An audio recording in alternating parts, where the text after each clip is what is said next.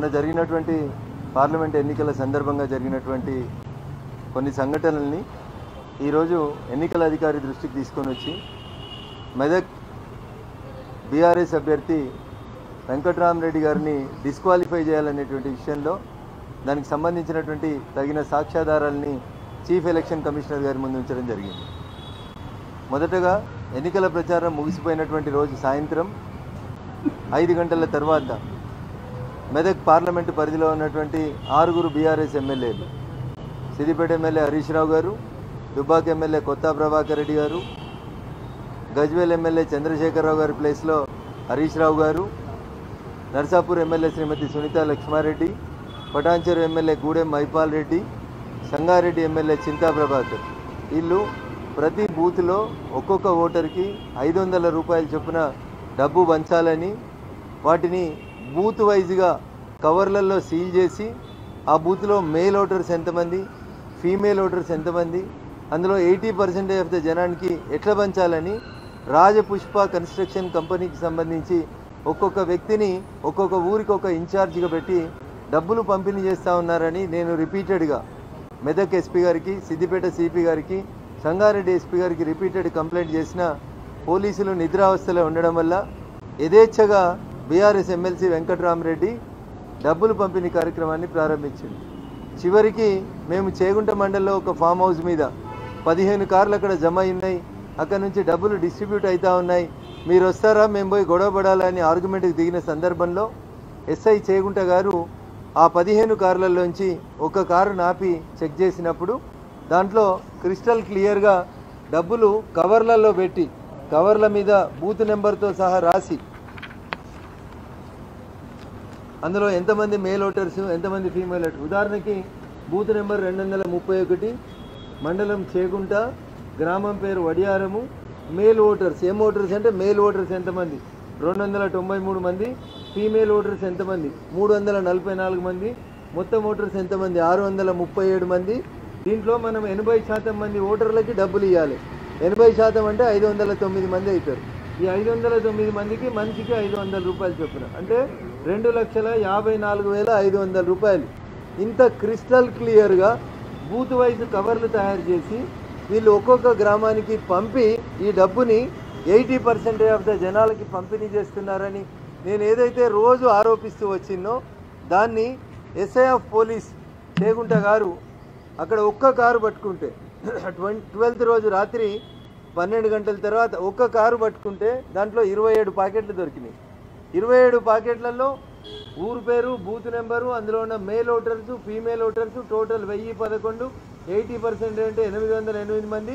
ఆ కవర్లో నాలుగు లక్షల నాలుగు వేలు. ఇంత కేటగారికల్గా ఒక SI SI of police Chegunta గారు crime number one sixty one of twenty twenty ఫోర్లో ఇరవై ఏడు కవర్లు సీజ్ చేసి ఎనభై ఎనిమిది లక్షల ముప్పై నాలుగు వేల రూపాయలని ఒక ఎస్ఐ సీజ్ చేయగలిగాడు. కానీ మిగతా పోలీసులు సిపి సిద్దిపేట గారు ఎస్పీ మెదక్ గారు ఎస్పీ సంగారెడ్డి గారు. ఆరుగురు టీఆర్ఎస్ ఎమ్మెల్యేలు చెప్పిన మాటలు విని ఎక్కడ కూడా మేము డబ్బులు ఉన్నాయని చెప్తే రైడ్ చేయకుండా నిద్రావస్థలో జోగడం వల్ల ప్రతి బూత్కి బీఆర్ఎస్ ఎంపీ అభ్యర్థి వెంకటరామరెడ్డి డబ్బులు తీసుకుపోయి ప్రతి బూత్లో పంచినాడు. సీసీటీవీలు పనిచేయలేదు. భద్రత మాదే బాధ్యత మాదే అన్న పోలీసు వాళ్ళు పనిచేయలేదు. రింగ్ టోన్లు పనిచేయలేదు. పోలీస్ స్టేషన్కి కిలోమీటర్ దూరంలో వంచుతున్నారని చెప్తే గంట దాకా ఎస్ఐలు రాలేదు. మేము ఎంత అరిచినా మా రోదన అరణ్య రోదనగానే మిగిలిపోయింది తప్ప ఇంకొకటి కాదు. మేము వెళ్ళి ఫామ్ హౌస్ మీద దాడికి బయలుదేరినామని చెప్తే అప్పుడు ఎస్ఐ వచ్చి ఆ దారిలో ఉన్నటువంటి ఒక కారు నాపిండు. అప్పటికే అక్కడి నుంచి పదిహేను కార్లు వెళ్ళిపోయినాయి. ఆ పదిహేను కార్లు ఉన్నటువంటి ఫామ్ హౌస్లో సీసీటీవీలు ఉన్నాయి. ఆ సీసీటీవీని సీజ్ చేసి కార్ నెంబర్లు చూసి ఏ కారు ఏ ఊరు రూట్లో పోతుందో చూసి పట్టుకోండి అని ఎస్పీ మెదక్ గారికి చెప్తే కూడా నిమ్మకు నీరెత్తినట్టు వ్యవహరించినాడు ఎస్పీ మెదక్ తప్ప ఇంకొక పని చేయలేదు.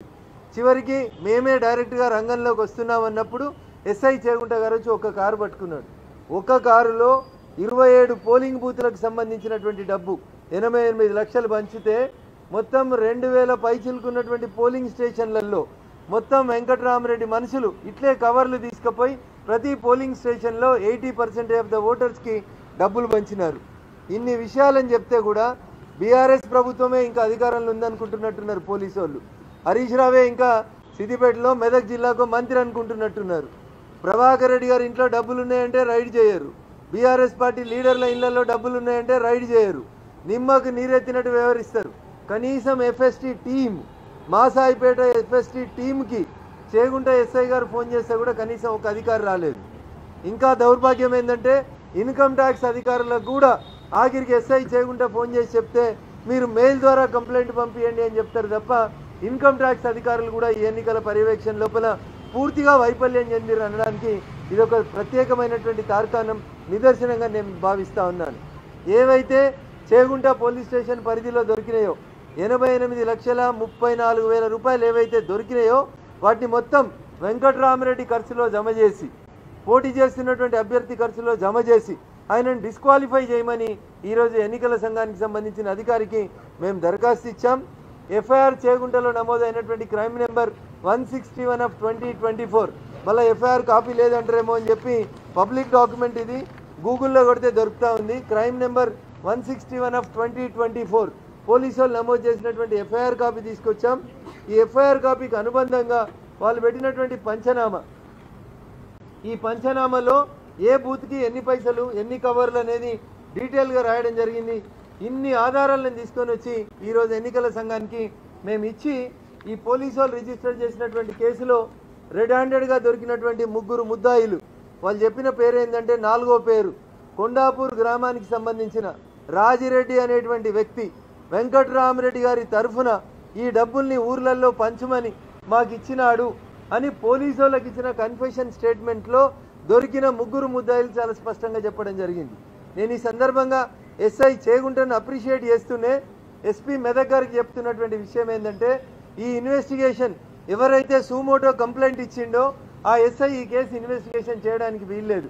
కాబట్టి జిల్లా పోలీస్ అధికారిగా ఇంకొక అధికారిని ఈ కేసుని ఇన్వెస్టిగేట్ చేయడానికి అపాయింట్ చేసి ఏ ఫామ్ హౌస్లో అయితే మీటింగ్ పెట్టినరు ఆ ఫామ్ హౌస్ సీసీటీవీని ఫుటేజ్ని రికవరీ చేసి అందులో ఉన్నటువంటి అన్ని కార్లను కూడా ఈ కేసుల్లో ముద్దాయిగా చేర్చడంతో పాటు ఇంకా టెక్నాలజీ బాగా పెరిగింది కాబట్టి ఆ సీసీ ఆ ఫామ్ హౌస్లో ఆ అర్ధరాత్రి ఉన్నటువంటి కార్లు కార్లతో పాటు ఆ టవర్ లొకేషన్ తీసుకుంటే ఆ టవర్ కింద ఎన్ని ఫోన్లు అప్పుడు ఉన్నాయో ఆ ఫామ్ హౌస్లో తెలుస్తుంది కాబట్టి వాళ్ళందరినీ కూడా ముద్దాయిలుగా చేర్పించి ప్రాపర్గా ఇన్వెస్టిగేషన్ చేయించాలని ఎన్నికల అధికారికి ఈ సందర్భంగా దరఖాస్తు ఇచ్చాం.